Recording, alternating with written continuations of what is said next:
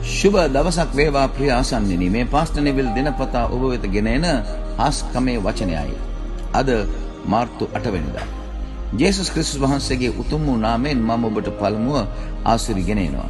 ප්‍රියාදර දරුවනි අද ජීවනයේ කෑම පළවෙනි පේතෘස් පළවෙනි පරිච්ඡේදයේ 23න් අපි මෙනෙහි කරන්නට යනවා. බයිබලයේ කියනවා මක්නිසාද නුඹලා කුණු වෙන්නා වූ බීජ වලින් නොව දෙවියන් වහන්සේගේ ජීවමාන වූ පවතිනා වූ වචනය කරන කොටගෙන කුණු නොවෙන්නා වූ බීජ වලින් නැවත උත්පාද කරනු ලැබුවෝය. ඉතින් අපේ අද වචනය තමයි නැවත උත්පාද කිරීම. වචනය තමයි නැවත උත්පාදනය කරවන්නේ. අපි අපේ අපි නැවත ඉපදුනා ජේසුස් වහන්සේගෙන් ඉපදුනා උන්වහන්සේගේ ස්වභාවයෙන් ඉපදුනා දේව දරුවෙක් අප හැටියට අපි වෙනස් වුණා අපිට නැවත අපේ ආත්මය පණ ගැන්වුණා ඒ ඔක්කොම සිදු වුණේ අද අපිට කියන වචනයෙන් ඒක ඔක්කොම සිදු වුණේ මේ දේව වචනය කර්ම කොටගෙන. එතකොට සුභාරංචි සේවකයා හෝ පාලකතුමා හෝ දේව වචනේ ප්‍රකාශ කරද්දී අපි වචනය අල්ලා ගත්තා. අපි වචනයට කීකරුණා. අපි වචනයට ප්‍රතිචාර දැක්වුවා. ඒ නිසා මේ කුණු නොවෙන්නා වූ බීජ නැමැති මේ දේව වචනේ කරුණ කොටගෙන තමයි අපේ ආත්මය නැවත නැවත ඉපදුනේ. ඉතින් නැවත ඉපදෙන්න තරම් බලයක් මේ වචනය තුළ තියෙන බව තමයි අද අපි ඒත්තු ගන්න ඕන.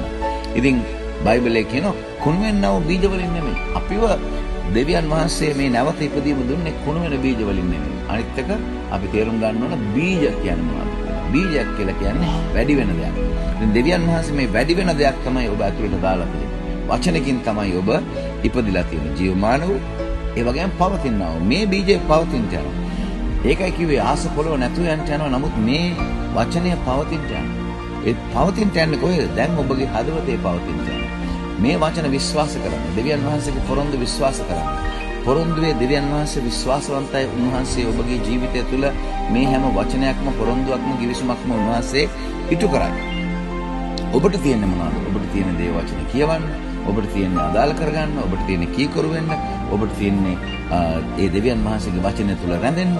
ඒ එහෙම කරනකොට තමයි ඔබ මේ විදියට නැවත ඉපදුනා. ඒ නැවත ඉපදුනේ කුණු නොවෙන්නා වූ බීජ නැමැති ජේසුස් ක්‍රිස්තුස් වහන්සේ වන මේ දේව වචනය.